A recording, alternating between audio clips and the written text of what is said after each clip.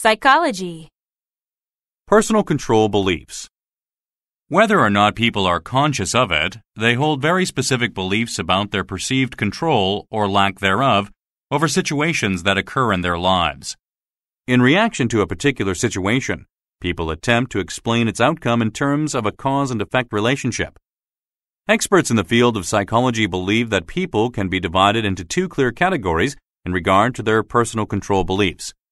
There are those with a pessimistic explanatory style and those who practice a more optimistic explanatory style. Personal control beliefs are the powers an individual feels he or she has over the outcomes of circumstances in his or her life. They develop over time as an individual experiences disappointment and failure and learns different methods for coping with them. A person's explanatory style is an unchanging cognitive characteristic of his or her personality. It reflects the way he or she thinks about the bad events in his or her life.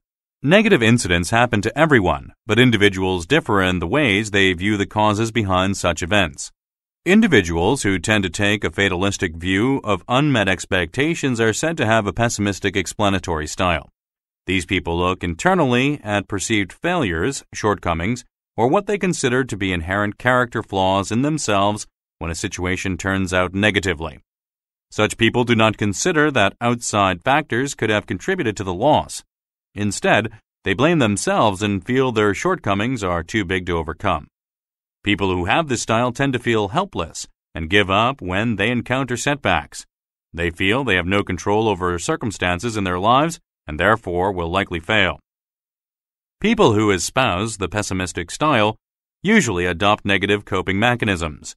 These serve to decrease overall motivation and prompt more negative emotions. On the other hand, those with an optimistic explanatory style generally ascribe external factors to a negative result.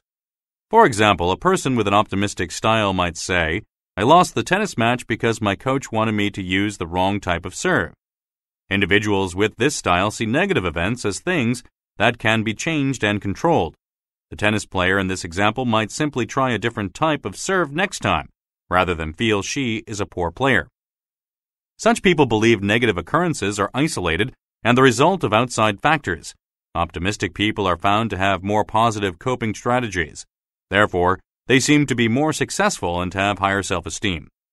While an overly optimistic view could lead to an unhealthy and narcissistic opinion of oneself, most people consider the optimistic style to be beneficial. The key is a balance between being negatively affected by poor outcomes and realizing that while one may be somewhat responsible for a negative result, one also possesses the ability to make changes that can control future outcomes.